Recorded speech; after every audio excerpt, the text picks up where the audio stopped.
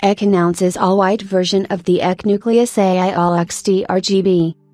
EK, the leading computer cooling solutions provider, is expanding its AIO portfolio with a white version of the award-winning EK Nucleus AIO Lux D-RGB All-in-One CPU cooler.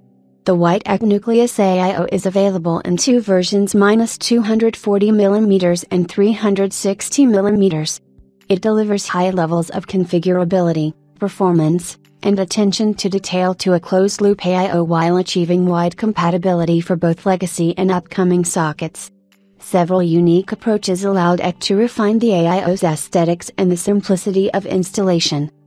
After the EK Nucleus AI as the core of the lineup, EK launched the dark version aimed at those looking for a more optimized price to performance ratio. But, with EK constantly pushing the boundaries, they also built a white version of the Nucleus AIO Lux, as white is the second most popular color in PC building.